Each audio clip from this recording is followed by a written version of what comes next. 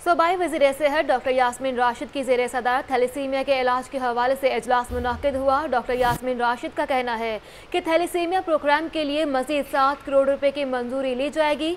इसी हवाले से मजीद बात कर लेते हैं नुमाइंदा लाहौर न्यूज़ बिलाल चौधरी से। बिलाल चौधरी, बताइएगा। जी, बिल्कुल, आज सूबाई वज़ीर सेहत डॉक्टर यासमिन राशिद की जेर सदारत थैलीसीमा के इलाज के हवाले से अहम इजलास किया गया, जिसमें डॉक्टर यासमिन ने कहा कि पंजाब को थैलसीमिया के मर्ज से महफूज करने का ख्वाब पूरा करने के लिए फंड की कमी अड़े आ गई थी।